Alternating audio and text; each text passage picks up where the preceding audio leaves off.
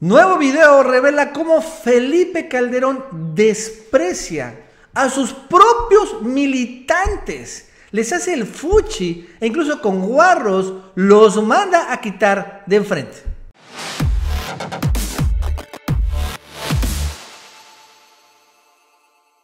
Pero antes de arrancar, te recuerdo que ya están disponibles los nuevos diseños de Me Canso Ganso y también su playera, ¿no? Puedes comprarlas en la tienda oficial de Chapucero, en la descripción del video y aquí abajo te dejo el enlace. México extraña a Felipe Calderón. López Obrador convertirá a México en una Venezuela, dice la prima de Margarita Zavala. Bueno, la pregunta es, ¿quién le hace caso a la prima de Margarita Zavala? ¿Por qué esto es una nota? Esa sería la pregunta. ¿Qué rayos realmente nos importa a los mexicanos? Lo que opine la familia de Margarita Zavala, la prima, o la, otra es, Margarita Gómez del Campo. ¿Qué nos importa, honestamente? Que digan lo que quieran. La verdad es que esto es pecata minuta. Que no miente el presidente, somos apartidistas, contesta la Coparmex a López Obrador. Esto es interesante porque el presidente ha señalado que la Coparmex, en particular Gustavo de Hoyos, la cúpula empresarial, los líderes son o se comportan como una especie de partido político o como un sector de un partido político, como el sector empresarial del PAN, por así decirlo. Entonces, esto es importante porque lo cierto es que los afiliados a la Coparmex, hay varios empresarios afiliados a la Coparmex a nivel nacional y también en todos los estados. Pues cuando escuchan al líder nacional empezar a decir tantas tonterías, la verdad es que creo que yo empiezo a ver una desafiliación masiva. Porque dice, ¿para qué estoy en una asociación empresarial pagando la cuota? Porque todos estos empresarios pagan una cuota, cuando el máximo líder de la Coparmex se mete en cosas que realmente no les interesa a los Coparmex. Entonces como que empiezan a agarrar distancia, incluso la otra está viendo también como otros eh, en otra cámara empresarial empieza a haber pleitos internos, señalan, es que tú tal vez Gustavo hablas por tu propio, por tu propia, este, creencia por ti mismo, pero no hables por el órgano empresarial.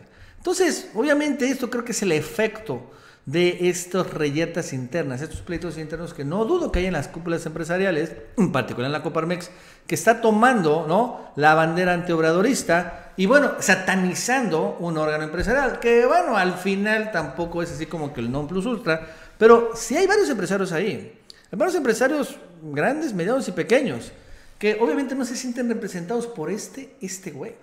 Oh, Eugenio Derbez, se metió una nueva polémica. Yo no sé qué pasa. Eugenio Derbez hace lo siguiente, ya yo, la caché la onda. Sucede que Eugenio Derbez cuando va a estrenar una película, habla mal de López Obrador. Cuando va a estrenar Eugenio Derbez una película o una serie, le gusta meterse una polémica. Y bueno, eso es lo que estamos viendo aquí. Esto es la imagen de un comercial en donde dice Eugenio Derbez, que es mala la leche. Bueno, cada quien puede tener su opinión de la leche, pero lo cierto es que si es buena o mala, mm, pero lo cierto es que este comercial que vemos de Derbez, en donde dice que es mala la leche de vaca, lo que está empezando a impulsar es que es buena los otros tipos de leche, la leche de almendra o la leche de otros este, granos y todo eso. Lo cual me deja entrever algo, que obviamente esto no tiene nada que ver con que sea mala la leche de vaca, sino le está impulsando una marca comercial, ¿no? Obviamente. Seguramente después de este comercial de Eugenio Derbez aparece otro comercial de alguna marca de estas leches de almendras o de otras cosas que hay, ¿no? Finalmente, particularmente para los que hacen mucha dieta. Este, pero sí, claro. Ahora, los memes son muy buenos porque dice, no gracias, y ponen, Película de Eugenio Derbez. sí, Eugenio Derbez se ha vuelto la nueva Kate del Castillo, honestamente, ¿no? O sea, es un personaje que era querido por México, la verdad es que hacía buena, buena comedia, ¿no? La verdad es que a mí me gustaba ver sus programas aquí en México. De lo poquito bueno que todavía quedaba con Televisa eran los programas de Derbez. Después de que tuvo muchos buenos programas exitosos Televisa, una buena barra comedia. Los últimos fueron los de Derbez, La Familia Peluche. Pero después se fue a Hollywood y empezó a caer en una serie de cosas, tumbos, extravíos medio extraños. Y acabó como que del castillo, ya siendo muy despreciado en México, convirtiéndose en meme y haciendo este tipo de cosas que al finalmente solo le generan más antipatía a Eugenio Derbez. De esos, como Broso incluso, Personajes que fueron muy queridos, ahora son muy despreciados. Y Derbez, lo siento Derbez, tú también. Igual que Kate del Castillo, ya no fue tan querida, pero bueno, tampoco era despreciada.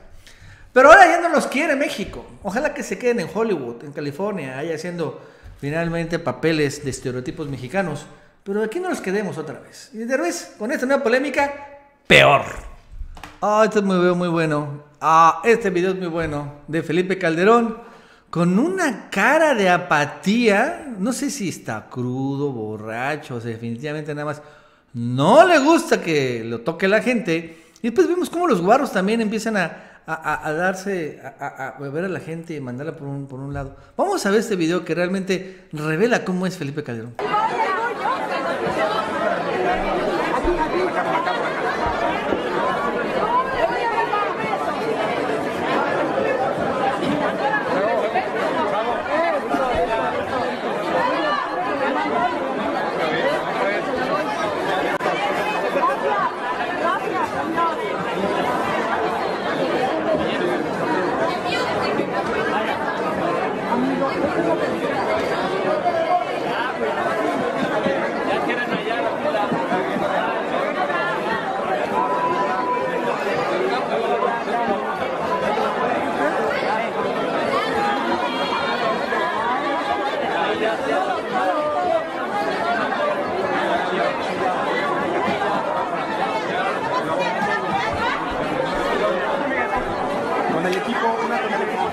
O sea, no regala ni una, vez sonríe Felipe Calderón. O sea, es increíble, insólito eso que estamos viendo.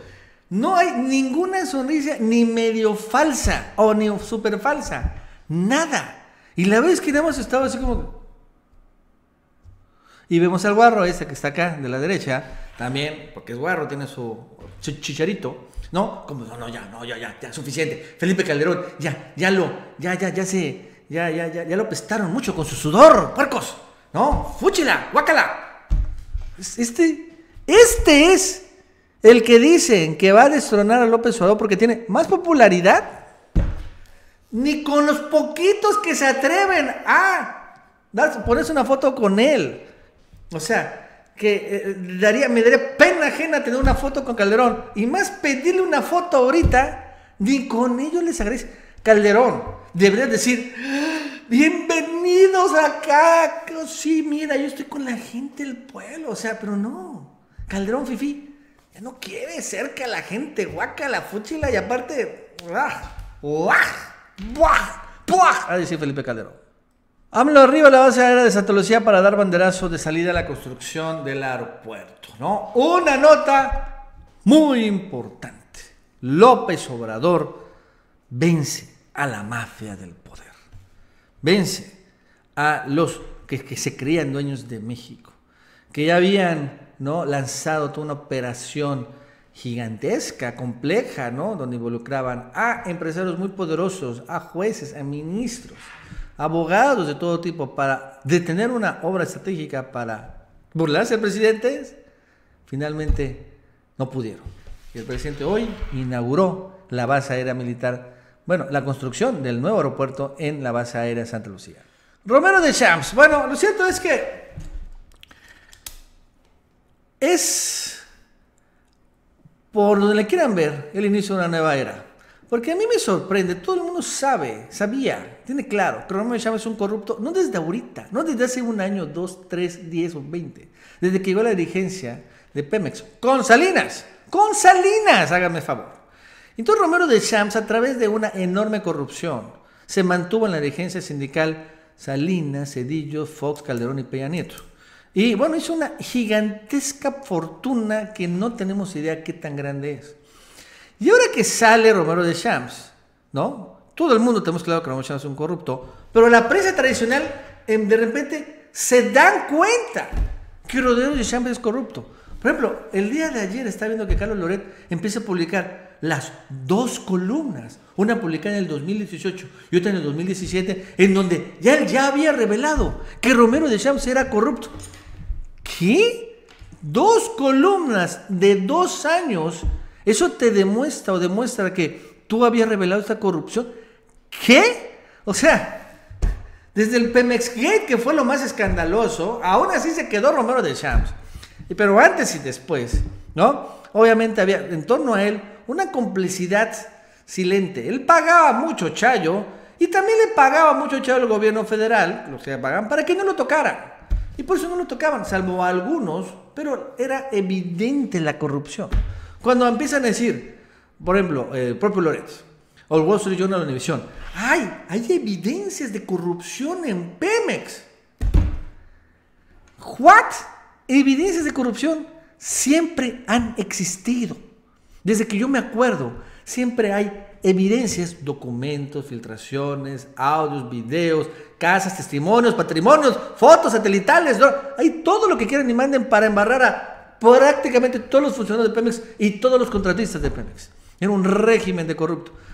Entonces que ahorita como que los descubran de casualidad o por ser una super investigación, háganme el favor. Ese cinismo, hipocresía, la verdad es que es verdaderamente frustrante, ¿no? O sea, causa enojo porque pretenden burlarse de nosotros los ciudadanos, cuando es obvio y claro que todos nosotros hemos visto innumerables casos de corrupción de, por ejemplo, de Nada más por decir uno de muchos al interior de Pemex. Señor Cortés, ¿alcanza usted a distinguir estas letras? Y pone revocación de mandato. dice, claro que sí, doctora. Ahí clarito dice reelección de AMLO. y dice la doctora, vamos a escuchar, vamos a leer. Señor Cortés, su problema no solo es visual, también es mental y cutáneo. Usted, además de miope, está bien pendejo y ardido.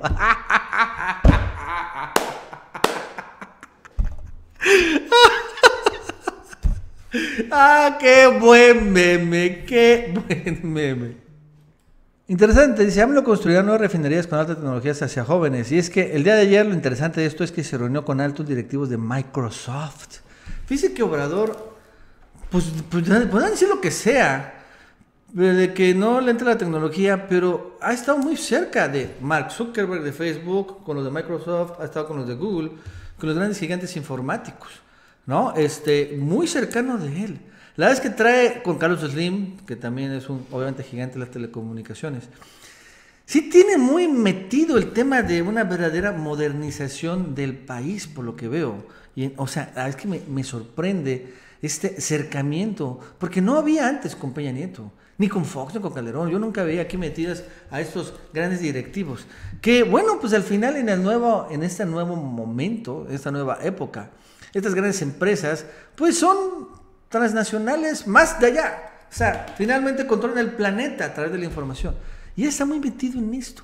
La verdad es que yo creo que más pronto que tarde vamos a ver los frutos de esta relación que estamos viendo que está llevando con mucho interés. Fiscalía asegura que Madre de Lozoya deberá enfrentar en prisión su proceso penal. Sí, el tema de Lozoya ahorita está este, un poco olvidado. Podemos recordar que la mamá de Lozoya está detenida en una cárcel allá en ¿dónde? En Alemania. Que le estaban buscando un amparo que finalmente no salió libre y Lozoya se comenta que es testigo protegido, pero de todos modos, al margen de donde esté Lozoya, no creo que sea testigo protegido honestamente. Pero eh, no lo han encontrado, pero tampoco ya ha librado más. Ya los amparos, si se dan cuenta, ya no hemos visto amparos a corruptos, han desaparecido. Porque antes los daban como hot cakes, todos se amparaban. Pero ahora, después de que también empezó una limpia en el Poder Judicial muy importante, ya no hemos visto amparos. Ya no vemos que amparen a Medina Mora o amparen a Deschamps ahorita que acaba de renunciar. O amparen más a Lozoya o a Rosario Robles o a Juan Collado. Ya no estamos viendo este tipo de cosas. Ya finalmente esto también arrancó. Hay un cambio de mentalidad del Poder Judicial. Si quieres anunciar tus productos, servicios, aplicaciones en el canal del Chapucero o el Chapucero USA, envía un WhatsApp a este número telefónico o un correo electrónico a esta dirección